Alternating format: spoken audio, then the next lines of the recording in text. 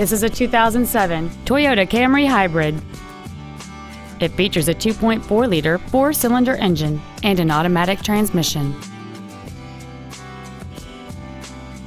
Features include air conditioning with automatic climate control, a split folding rear seat, cruise control, a CD player, a leather-wrapped shift knob, front side impact airbags, an auto-dimming rearview mirror, a rear window defroster, a keyless entry system, and a power driver seat. With an EPA estimated rating of 38 miles per gallon on the highway, fuel efficiency is still high on the list of priorities. This vehicle is sure to sell fast. Call and arrange your test drive today.